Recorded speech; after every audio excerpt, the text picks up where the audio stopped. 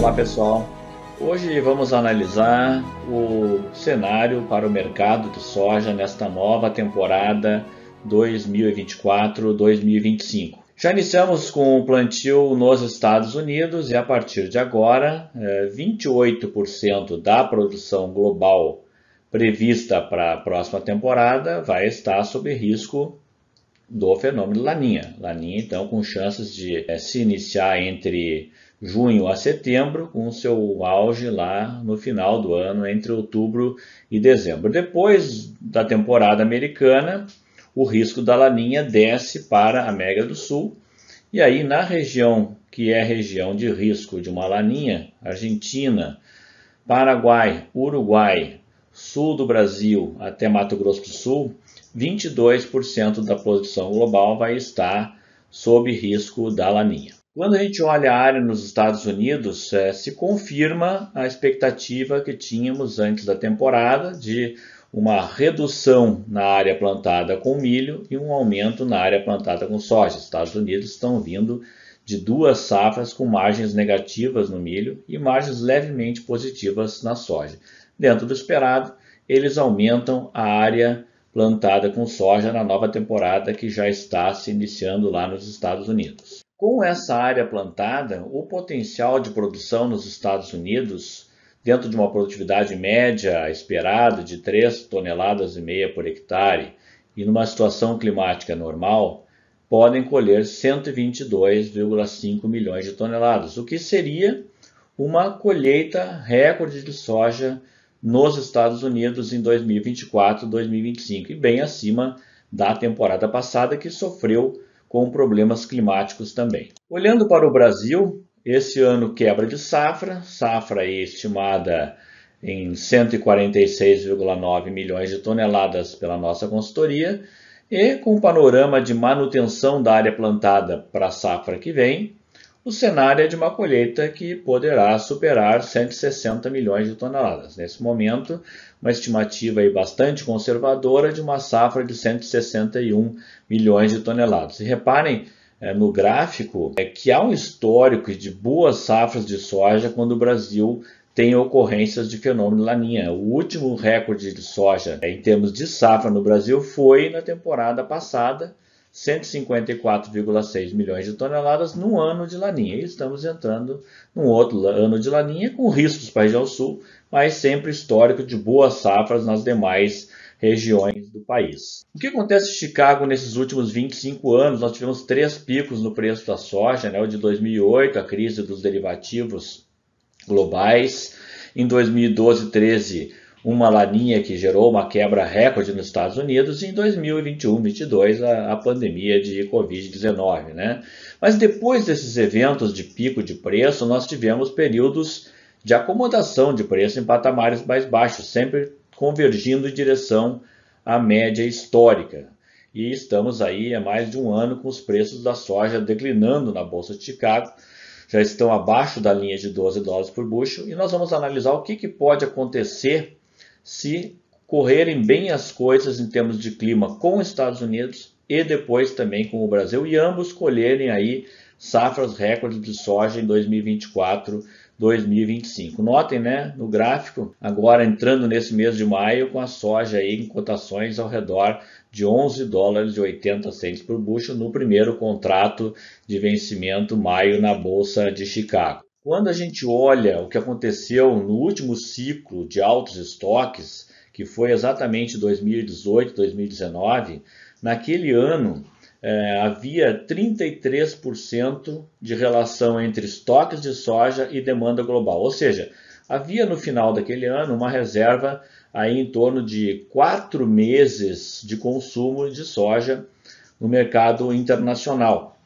E os preços na linha vermelha, vejam que eles sofrem uma pressão negativa e se aproximam de uma cotação na época de 9 dólares por bushel o mesmo movimento que nós estamos observando agora. Então a gente fez uma simulação para 2024, 2025, é, projetando aí uma safra razoável no Paraguai, é, na Argentina e no Uruguai, uma safra recorde no Brasil, uma safra cheia próxima de um recorde nos Estados Unidos geraria então uma relação estoques-consumo da ordem de novamente 33%. E os preços aí convergeriam para uma tendência baixista, se aproximando de 11 dólares por bushel e podendo testar patamares abaixo dos 11 dólares por bushel.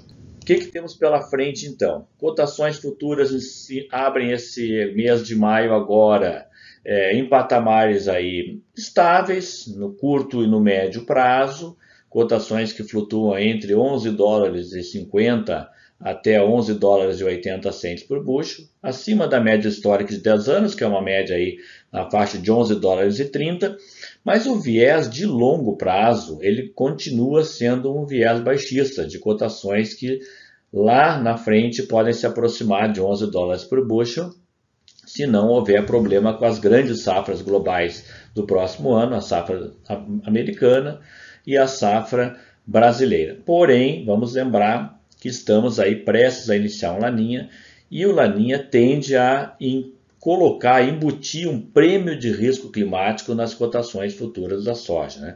Lembrando que o que faz um preço futuro subir não é a quebra de safra em si, mas o risco de quebra. Então, uma ameaça à lavoura americana que começa a ser plantada agora, em algum momento, se sofrer problemas com seca, vai ser precificado e vai gerar bons momentos aí de altas de preço na Bolsa de Chicago, que vai ser é, também se refletir aqui no Brasil e pode gerar bons momentos para a fixação tanto da safra futura quanto da safra presente. Além disso, no curto prazo, nós temos outros fatores pela frente também. A questão dos prêmios nos portos brasileiros. Os prêmios estão reagindo rapidamente, já estão positivos e estão entrando num campo positivo até o final do ano. Vocês vejam aí prêmios agora já em maio 10 cents positivos sobre a cotação futura de Chicago, depois subindo para 20, 30, 40, 40 cents positivo. E à medida que o tempo passa e se reflete uma safra menor no mercado brasileiro esse ano, esses prêmios podem subir ainda mais e garantir uma alta do preço da soja daqui, como já começou em abril, agora em maio também, até o final desse ano, ou pelo menos até o início da colheita nos Estados Unidos. E também fica o alerta aí, vejam, para 2025 já temos prêmios negativos no primeiro semestre do ano aqui no Brasil. Esses prêmios já estão sendo negociados entre exportadores, trades, cooperativas, indústrias e já são negativos, o que mostra que nós vamos ter de novo aquele efeito baixista sobre o preço no mercado brasileiro no período de colheita do próximo ano. Então vamos lá, vamos resumir a situação que temos pela frente um viés de alta aqui no Brasil até o final do ano, a soja tendendo a subir. Ah, temos nesse momento um dólar no nível mais alto, temos prêmios em alta nos portos que podem ficar mais altos ainda, e também temos cotações futuras relativamente firmes no curto e no médio prazo. No longo prazo, um viés baixista, Chicago vai responder uh, com baixa se a safra for grande no Brasil e nos Estados Unidos, o Brasil vai responder com prêmios baixos nos portos se a safra for, for boa no, aqui no, no, nosso país e isso vai levar ao processo de baixa de preço na colheita. Então, alta no curto e médio prazo, viés de baixa mais para o longo prazo. E vamos observar como seria o reflexo disso nos preços aqui. Pegamos o exemplo da região médio-norte de Mato Grosso, representada ali pelas áreas de Sorriso, Sinop, etc.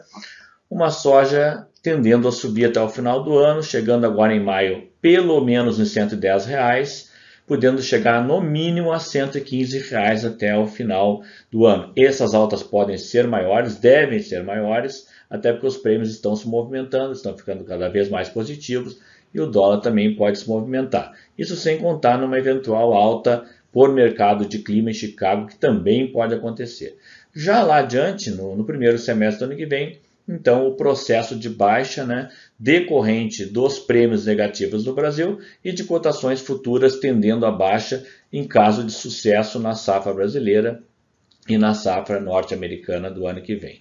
Por fim, lembrar que o break-even para a próxima temporada está de novo elevado. Né? O produtor vai precisar, nessa região do Médio Norte Mato Grosso, 55 sacas de soja para cobrir o custo operacional efetivo, ou seja, para pagar todas as suas despesas, né? E ainda não remunera ah, depreciações e amortizações, mas sobra no caixa aí é, o resultado da colheita. Se a colheita atingir 65 sacas por hectare, sobraria 10 sacas por hectare. Se colher 70 sacas, sobraria 15 sacas. Né? O fato aqui é que esse break vem elevado vai exigir bastante esforço no, no, planejamento de campo, né? boas tecnologias, principalmente tentar fazer boas compras de insumos, a relação de troca nesse momento está favorável, não há necessidade, não há porquê de fazer demora ou prorrogar essa decisão de comprar insumos, a relação de troca nesse momento está mais favorável do que esteve nos últimos anos, e, sim, e também olhar muito a questão da performance dos insumos, né? só adquirir insumos que realmente se reflitam resultem em boas produtividades, senão é, vai ficar mais difícil ainda achar boas margens de lucro na próxima temporada. Vamos entrar numa temporada com um visual e um cenário de que pode-se ter margem positiva de lucro na soja, desde que se tenha boa produtividade, se faça uma boa estratégia de comercialização. Né?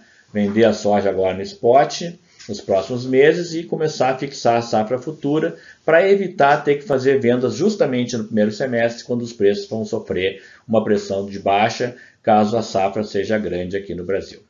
Nosso muito obrigado a todos e até a próxima é, análise de mercado de grãos commodities aqui na Hora H do Agro.